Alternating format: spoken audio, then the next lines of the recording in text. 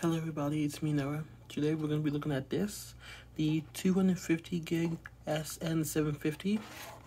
Um, in my desktop, I do have a 1 terabyte model, and that one has a read speed of 3,470 uh, megabytes a second, and that one has a, read, a write speed of 3,000 megabytes a second.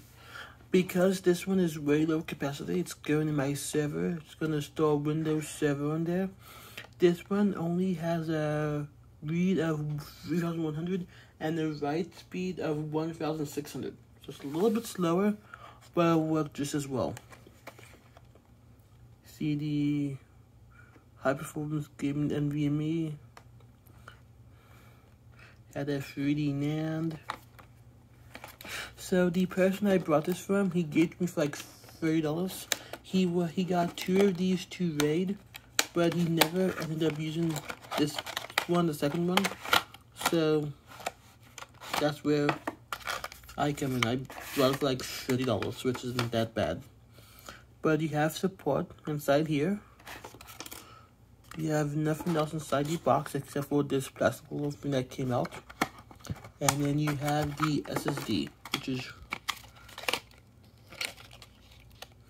the size of a stick of gum. And it was made October of last year. Let me take it out of the folder really quickly. And here it is.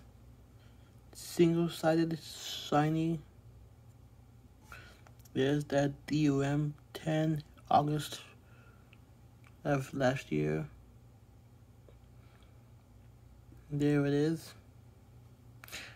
Until next time, I will see you all when I install this inside my server. Bye guys.